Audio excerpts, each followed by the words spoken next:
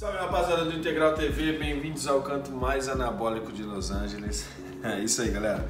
Hoje vocês estão aqui na nossa cozinha em Venice, é, porque eu vou mostrar para vocês toda a minha refeição de um dia de cabo baixo, tá? Eu vou mostrar para vocês desde a hora que eu, que eu acordo, o que eu faço, vou mostrar toda a minha suplementação, tudo que eu utilizo durante o meu dia de cabo baixo, eu vou mostrar aqui para vocês, vocês vão acompanhar tudo.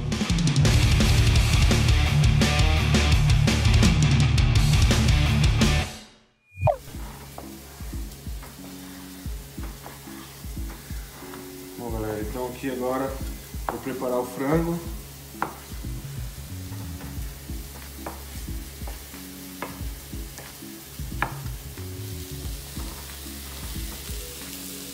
Estou fazendo ele picadinho assim, quadradinho, que é mais fácil de preparar. Ele não fica borrachudo igual bife.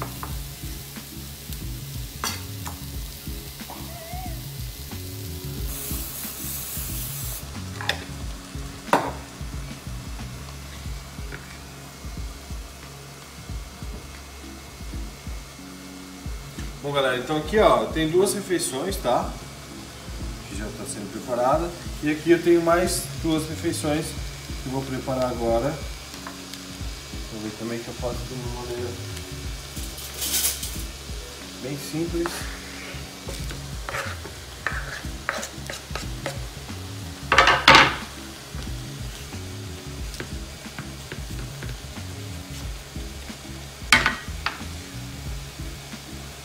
Aqui, ó, lemon pepper.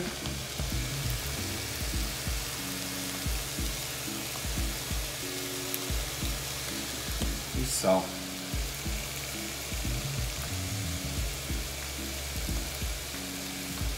Enquanto isso eu vou preparar aqui a fonte de carboidrato.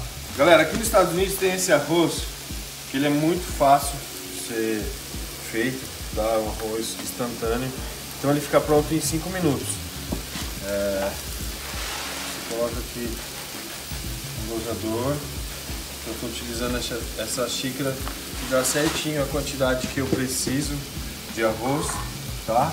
Então pego o arroz, coloco aqui na xícara, jogo aqui essa cumbuquinha e a mesma quantidade de arroz que eu coloquei na xícara, eu vou colocar de água e acrescentar aqui acrescentar aqui junto com o arroz.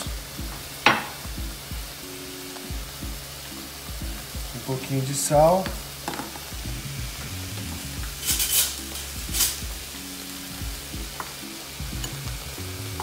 Aí eu vou colocar aqui no micro-ondas. Cinco minutinhos.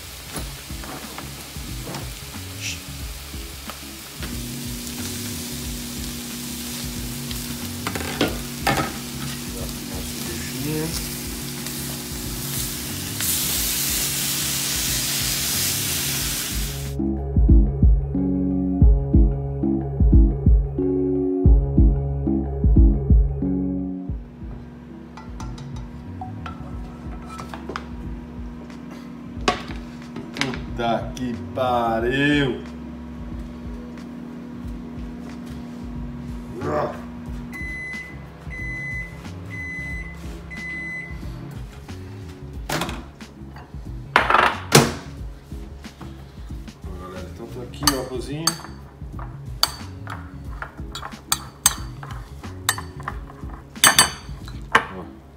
Só que também é o seguinte, esse arroz aqui. Se você não comer na hora, mano, 10 minutos, já era. O bichinho tá duro. Tá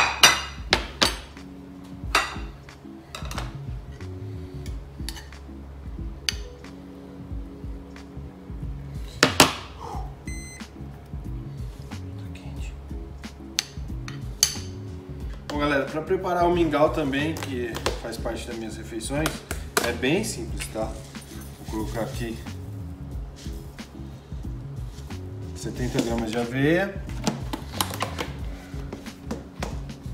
Todo mundo pergunta quando eu posto no Instagram, Rafa, passa a receita desse mingau, como que você faz? Meu, é muito simples. Simplesmente coloca a aveia no potinho, eu vou colocar a água.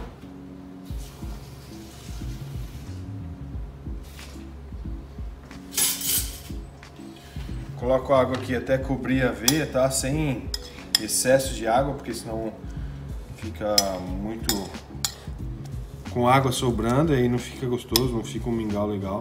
Então vocês podem perceber aqui, ó, que tá até só tá cobrindo aqui um pouquinho da aveia. E agora eu vou colocar no micro-ondas por um minuto e meio.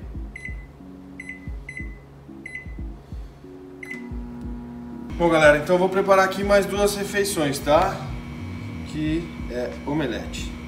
Então eu vou colocar aqui 300 ml de clara.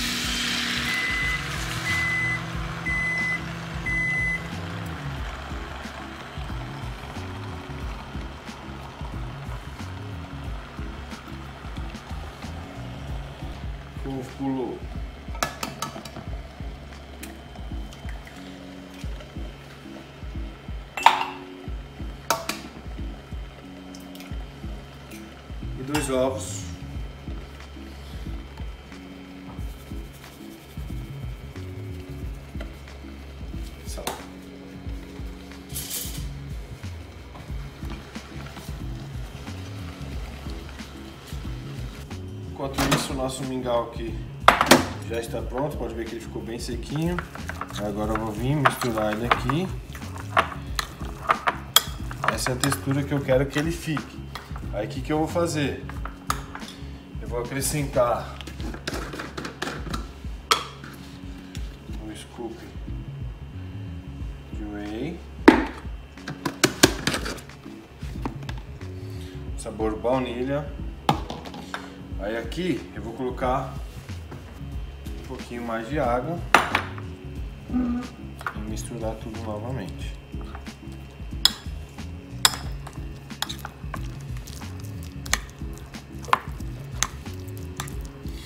Se você quiser ele mais durinho, você não acrescenta água, você só mistura whey.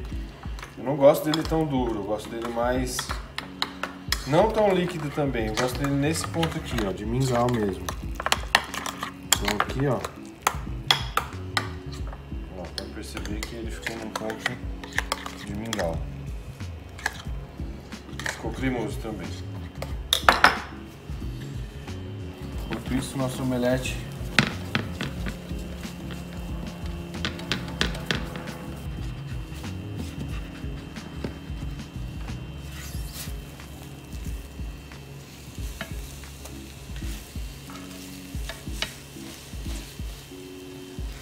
tá bonito.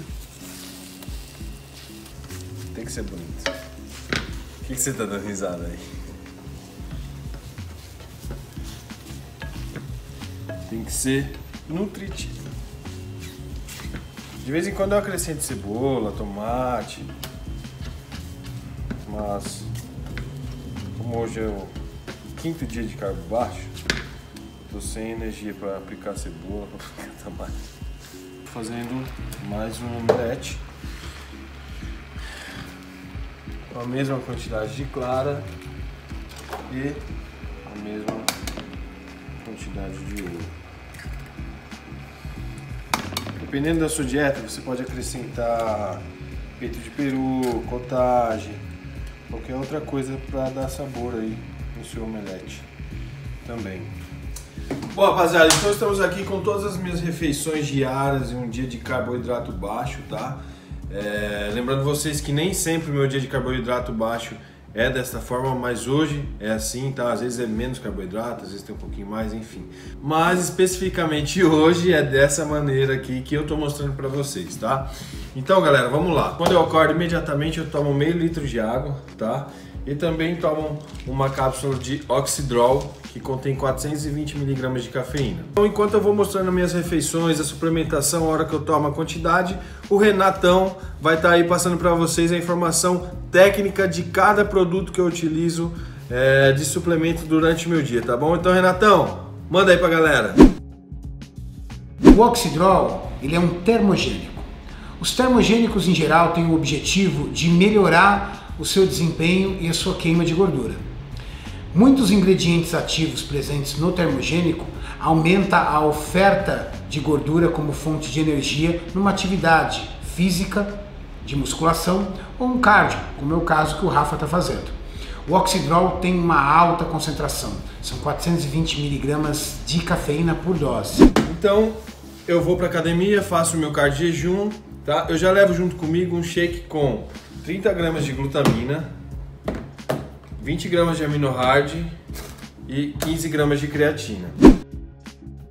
A glutamina é um aminoácido não essencial, ou seja, o nosso corpo produz. A glutamina é o aminoácido mais abundante em nosso corpo. Boa parte de nossos tecidos e órgãos são capazes de sintetizar glutamina. A suplementação da glutamina se faz muito importante para uma série de fatores, como por exemplo, melhorar o processo de absorção de vitaminas, melhorar o nosso sistema intestinal, fortalecendo a nossa microbiota. Pelo volume de alimento que os atletas utilizam, a glutamina é essencial para esse processo de absorção. O AminoHard está no grupo de produtos para hipertrofia e construção muscular. Dentro dele nós temos os nove aminoácidos essenciais mais a glutamina. Ele é muito recomendado para uso pós-treino, para início automático do processo de recuperação muscular de um treino de força. Atletas que estão em dietas restritivas em calorias podem utilizar o AminoHard durante o dia em doses fracionadas e permitir uma aminoacidemia constante. A creatina é um composto nitrogenado, sintetizado a partir de aminoácidos,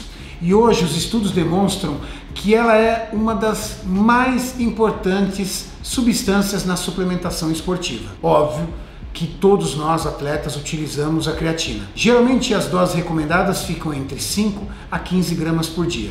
Não há estudos que demonstrem o horário adequado do uso da creatina, mas sim o uso diário dela. Imediatamente após o término do meu cardio em jejum, eu já tomo esse shake de, com, esse, com esse mix de aminoácidos, né? E venho para casa para fazer a minha primeira refeição. É, o bom do amino hard, da creatina e da glutamina em jejum, né, que vai me dar o suporte para que eu não catabolize, porque o cardio jejum realmente é um momento em que a gente está muito propício a entrar numa perca de massa muscular. Então tem que ser bem, tudo muito bem calculado ali, por isso que eu tomo esse shake imediatamente após o meu cardio jejum. O melhor do Amino Hard é que ele me dá uma carga de aminoácidos de rápida absorção, a mais rápida absorção que tem hoje disponível no mercado, e a digestão dele é muito rápida tá? Então, nos 10 minutos que eu venho da academia para casa, eu já tô realmente com fome, com apetite para comer a minha primeira refeição, tá? Então a gente vai chegar aqui em casa e eu vou fazer minha primeira refeição que contém aqui 70 gramas de aveia, né? Que vocês viram lá meu modo de preparo, um scoop de whey e tenho aqui algumas frutinhas, às vezes eu adiciono morango, às vezes é maçã verde, enfim.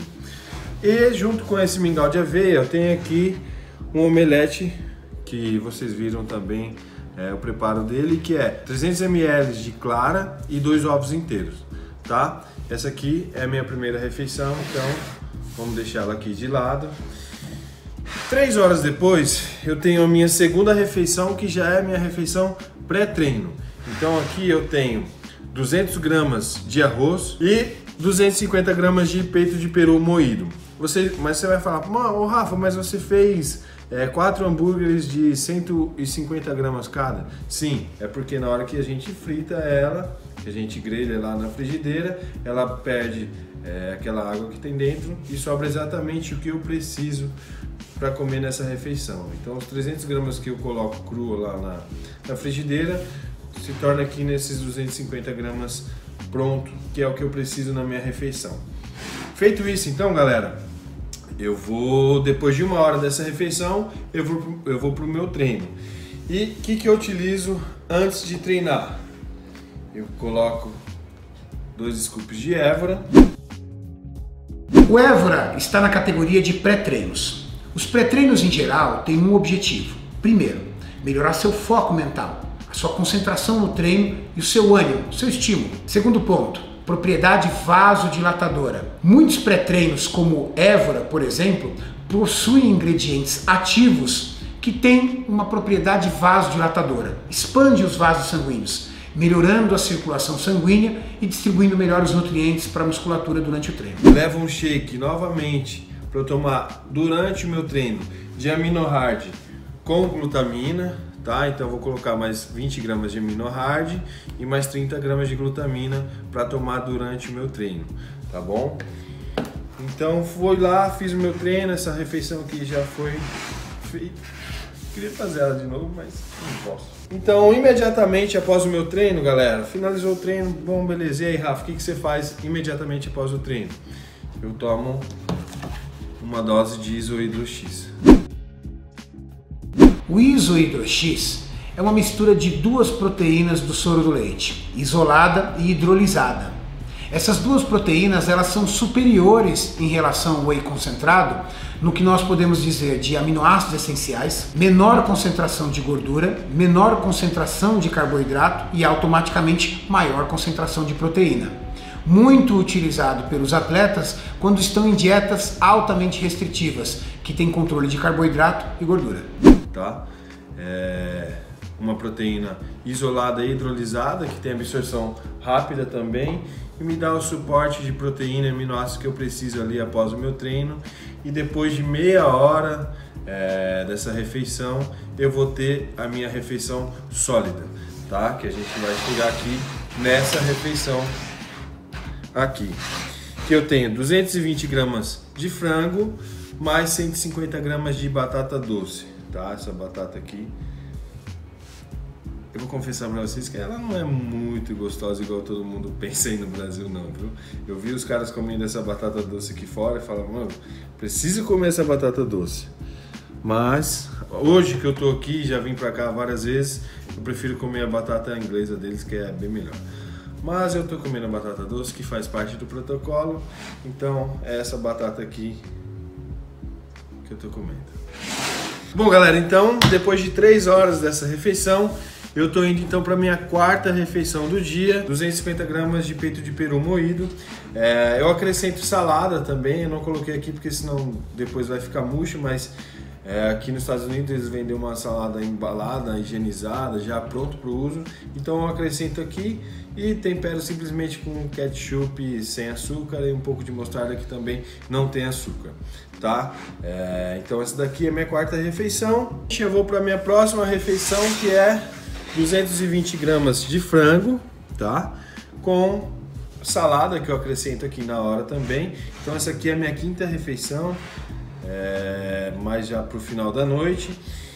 E uma hora e meia depois dessa refeição, eu vou fazer o meu segundo cardio do dia, mais 40 ou 45 minutos, ou às vezes uma hora, enfim, depende do dia ali, do que o Cris manda eu fazer. Então, depois eu, dessa quinta refeição, uma hora e meia depois mais ou menos, eu vou fazer o meu segundo cardio, onde eu coloco o quê? Mais 20 gramas de aminohard e 20 gramas de glutamina, tá? Pra tomar durante o meu cardio, tá? Vou tomando durante, não faço igual de manhã que eu espero fazer o cardio junto tal para depois tomar, não. vou tomando durante o meu cardio. E aí quando eu retorno para casa, já vai dar ter dado aí mais ou menos 3 horas, 2 horas e meia dessa quinta refeição eu vou fazer a minha última refeição, que é esse lindo omelete aqui que eu preparei, que tem também 300 ml de clara e dois ovos inteiros. Às vezes eu coloco um pouco de salada também, depende do dia, né? Mas normalmente assim como é carbo baixo e eu tô com muita fome, eu coloco salada que tem um pouco de fibra e dá uma saciedade e me ajuda nesse momento de fome. Então, galera, esse aqui é toda a minha refeição de um dia de carboidrato baixo. É, eu acho que o que você atleta ou você que quer ser um atleta um dia tem que colocar na cabeça é que o bodybuilding é construído nisso aqui tá? O bodybuilding não é o que a gente vem vendo aí cada vez mais as pessoas falando que é o quanto aguenta tomar do que toma. Não, galera. O bodybuilding é construído nisso aqui, na alimentação e no treino.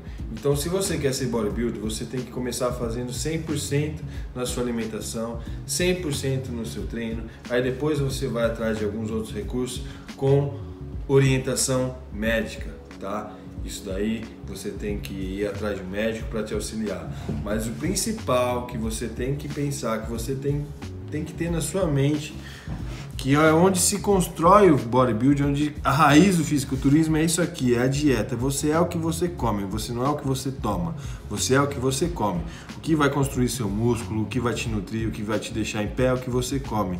Então foca principalmente na sua dieta, tenha um acompanhamento de um nutricionista, um preparador, estude sobre o que ele te passa, não simplesmente, porra, vou lá no preparador, ele me passou isso, isso, isso, isso, isso, vou tomar isso, isso, isso, tal hora, tal hora. Por quê?